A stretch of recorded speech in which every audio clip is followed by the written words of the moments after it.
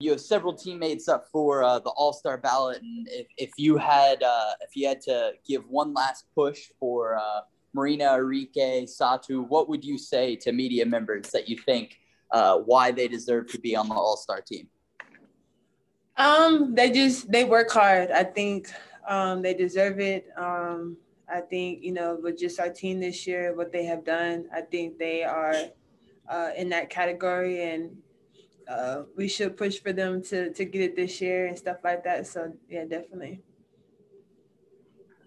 Great, thank you very much. And then another question submitted via the chat. Uh, 16 games through the season, y'all are at 500. Obviously, since you've been with the team for a while, what do you think this team is doing so much better to uh, have a you know a, a, better record and still be uh, really in the playoff race and and a contender uh, this year as opposed to years past? Um. Well, you know, since I've since I've been here, I think uh, the culture has changed a little bit, um, especially uh, especially with Coach VJ coming in and the new staff. Uh, her emphasis on defense um, have been a key, so I think that has kind of changed everything, and just our just our attitude. I think um, with this coaching staff, they they give us a confidence that me personally, I feel I've you know haven't had um, you know in a in a long time, and I, I think that makes you know the difference too um, how they what? how they how they push us and stuff like that, and just you know our everyday working on the little things and whatnot. So it's it's the coach staff, but it's also us, you know, us focusing and, and trusting the process and sticking to it, and us working together as a team, and not you know thinking about you know our individual selves, but thinking us as one whole.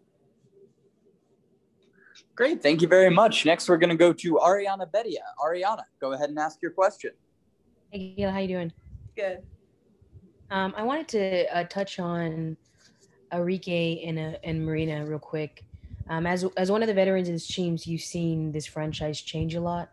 As a pair, how do you feel they've contributed to that change, both on the court and off the court?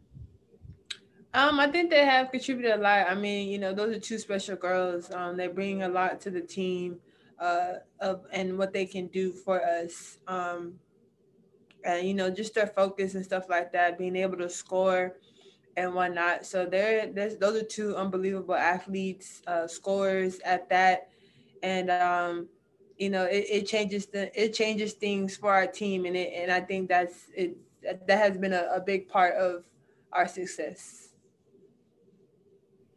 Thank you.